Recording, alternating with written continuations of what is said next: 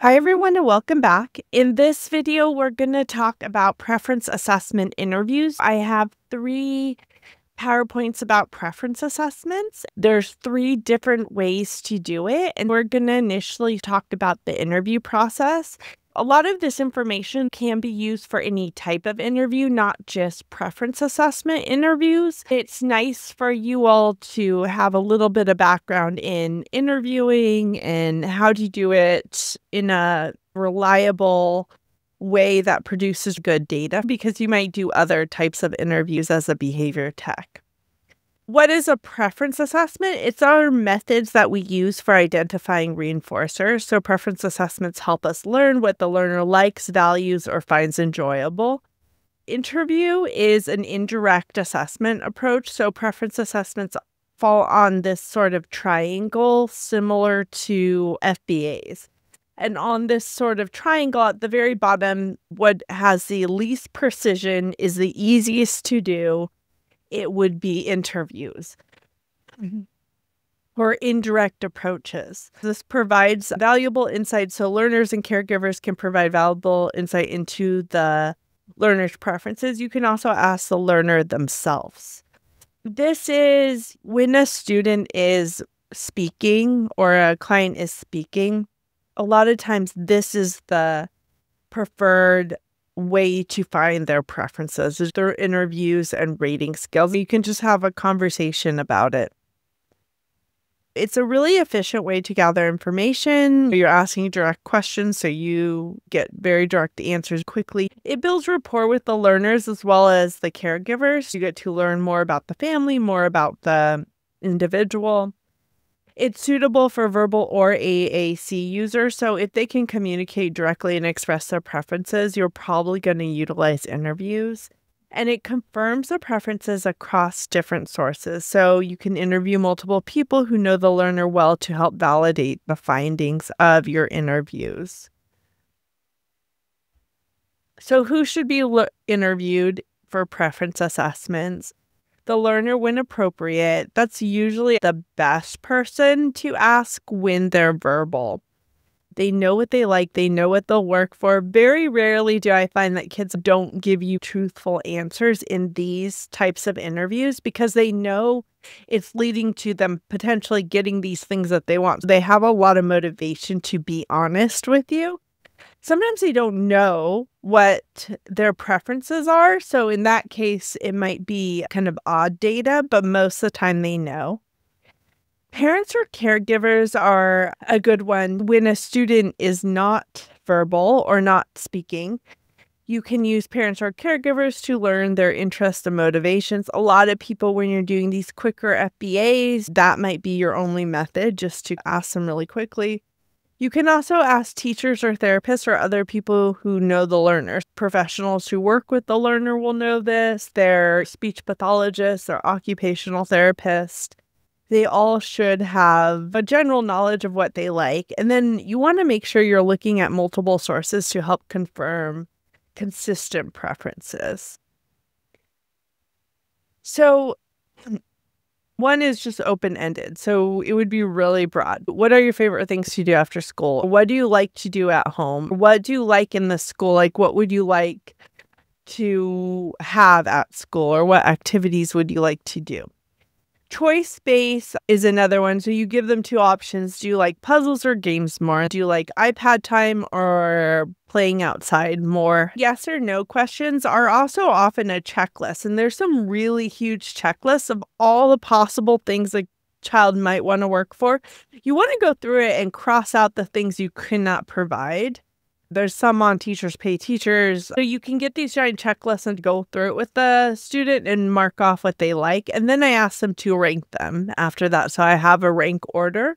That's my most used method. Especially in schools, there's a lot of unique things on these checklists that you might not think of, like saying morning announcements, having lunch with the principal, those kind of other fun activities a student might like. For example, there was all this. My kids' school just dolphin dollars, so they earn dolphin dollars and they can turn them in for things. One thing that my child saved up for was there's SRO officers, so student resource officers, who are police officers who are on campus for not only education but safety of students. For 200 dolphin dollars, which took him almost all year, you could have a ride in the police car with the policeman, and that was a big deal. So there's things like that. You can get very creative. Even at home, there can be really creative things. I've seen where if they have a lot of siblings, one on one time with parents, like dad takes you for ice cream alone, you can come up with them. So it's nice to have those checklists because it kind of broadens your ideas of what is reinforcing and it does give the kids some un- or the client you're working with some unique ideas for what they might want. And they may never have thought of that, but when they think about it, they're like, oh, yeah, I would like that. So that's fun to do with kids. And you can also ask situational questionals, questions where you ask the learner, what would they do if they could do anything right now? What would it be? So you make it more of an imaginary game sample preference prompts, things we might ask about, favorite snacks or drinks. Not a huge fan of edibles of any type for therapy or reinforcers. Food is our fuel, essentially. Food is something that we all need. And I think when you combine that with these reinforcing contingencies, it gets confusing for people. Whether they're verbal, nonverbal, every person in this world, I feel, should have access to healthy food that they enjoy. And I know a piece of candy is not part of their nutritional food that they need every day, but I still think that can be confusing because a piece of candy is food. So I stay completely away from that now. Things you could use is preferred toys or games, interest when bored, like iPad time or puzzles, motivating rewards, specific items that really motivate the learner. So you'd come up with those things and ask them. So, tools that we can use is we have a couple ways we can do this. One is there are reinforcement assessment data sheets to record preferences and reinforcement values. So, these are forms that allow them to rank order their preferences preference checklists, they're all over. I would, everybody should have a very large one. You can create them. Again, teachers pay teachers. There's some free ones on there. You get this preference checklist and make it a Word document or try to purchase it or gather it in a Word document so you can continually add things that you think of. And then before you do it with the child, you just cross off all the things that you can't provide them in that setting. I'd use a Sharpie so they can't read it. You might get, if you just cross it and they see it, they're like, no, no, I really want that. And you're like, well, I can't provide you that for whatever reason. Like the family doesn't have a car to drive, so go out for a drive to ice cream. Structured interview form, so customizable templates to guide preference interview process. Those exist. You might need pictures or icons depending on the communication preferences or how the person communicates. You want to make it really conversational, kind of fun. Make sure it's relaxed. Make sure they're in a good mood to do this. You don't want any behaviors had just occurred or might occur. You want to use visuals, show them things. I've had to like pull things up on my phone to show them when they don't understand a word or don't understand something.